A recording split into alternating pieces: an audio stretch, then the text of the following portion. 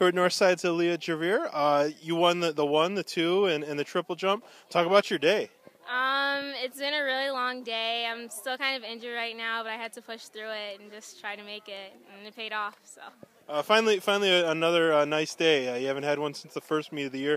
Uh, how much did that help uh, you kind of get get loose and get ready for today's yeah, meet? It's so much better. Like when it's cold, it just takes so much away from you and having to warm up. But the weather's nice, so it really helped. Uh, how do you feel that the season's going for you? Where where are you at compared to where you want to be? Um, right now, I'm actually doing a lot better. Um, a lot of PRs. almost every meet, I'm doing much better. I'm um, just trying to make sure I do really well at frosh-soph and then hopefully sectionals too. Uh, have you picked out times that you, you want to hit in your yeah. your events? What are you looking at? Actually, um, for my 100, I'm trying to get under 13 right now. I'm so close.